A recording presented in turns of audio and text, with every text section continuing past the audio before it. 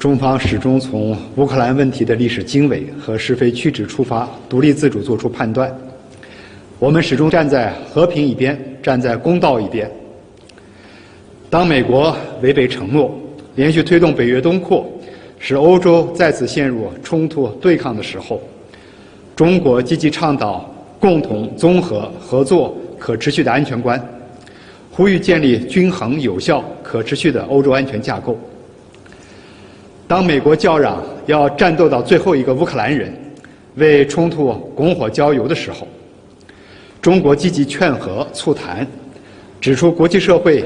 应当支持俄乌双方谈下去，而不是打下去。当美国大搞极限制裁施压，危机外溢效应日益扩大蔓延的时候，中国坚决反对把世界经济政治化、工具化、武器化，强调不能让国际合作几十年努力的成果毁于一旦，更不能让各国老百姓为此付出沉重代价。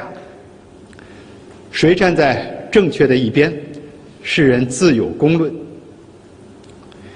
俗话说：“走夜路吹口哨，给自己壮胆。”美方一再表白自己是站在历史正确的一边，这是不是一种心虚的表现呢？